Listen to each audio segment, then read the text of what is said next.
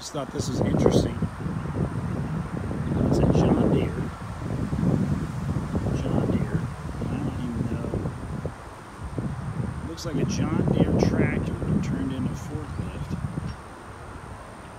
And um, they're using it for to move trailers. So I just thought you might like that. There's just and look at the ballast on the back of that. So that is innovative. John Deere converted to a forklift. Um, and look at there. That, that is just totally different.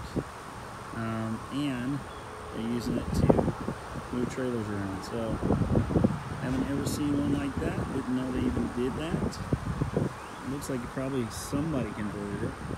But um, it's very interesting. I may see if I can learn a little bit more about it. John Deere tr- converted into a forklift.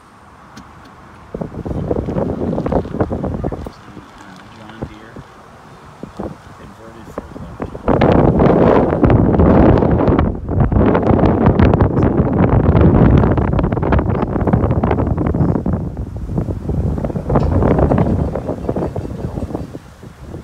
And sorry, it's all bouncy.